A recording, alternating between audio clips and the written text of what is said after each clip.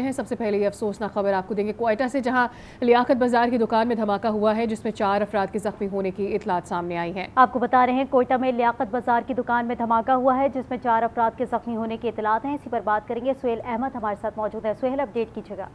जी बिल्कुल इस तरह है कि इस धमाके में अब तक एक शख्स जाबाक जबकि छह अफराद इसमें जख्मी हो चुके हैं। जख्मियों को और जाबाक शख्स की लाश फौरी तौर पर सेवर अस्पताल ट्रामा सेंटर मुंतकिल की गई। अब से कुछ देर कबल शहर के बिल्कुल वस्ती इलाके में झंडा फरोख्त करने वाले जो कौमी परचम फरोख्त कर रहा था दुकानदार, उसके ऊपर नामालूम दहशत गर्दों की जानब से दस्ती बम फेंका किया फेंका गया, जिसमें एक शख्स जाबाक और छह अफराद जख्मी हो गए। जख्मियों को लाश को अस्पताल मुंतकिल किया गया। फौरी तौर पर बम डिस्पोजल स्क्वाड, पुलिस और सीटीडी के हुकाम मौके पे पहुँच गए और वहाँ से शवायद इकट्ठे किए जा रहे हैं। जी। बहुत शुक्रिया सुहेल खबर की तफसील आपने हमारे साथ शेयर की, इसका फॉलोअप आपसे लेंगे।